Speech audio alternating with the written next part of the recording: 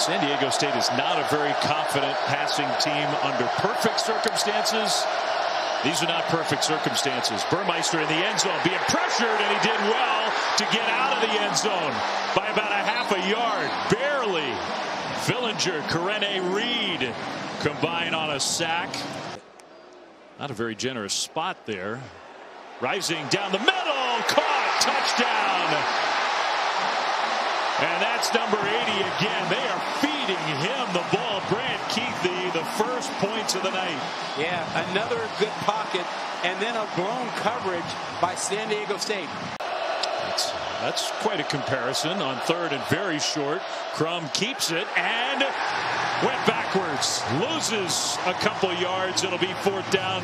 Cole Bishop, another tackle for Utah. Yeah, Utah fully expected more quarterback.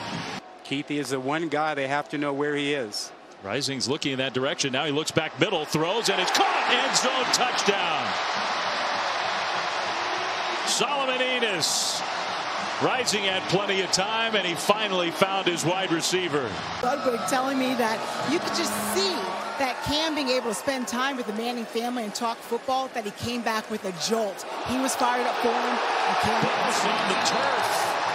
After the up man returned it, big hit in special teams. Second and eight here, final seconds of the first half. Utah's got two timeouts, so they don't have to panic. Rising toward the end zone, and it is caught. Touchdown.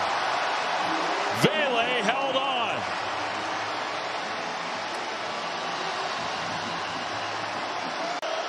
For the Mountain West uh, season two. He might not be ready for this, but you got to let him try. He throws an interception.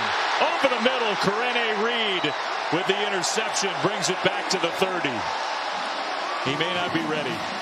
Well, you know, throwing into the middle of the field is dangerous even for last year. He's a great story. Started his college career at Cincinnati.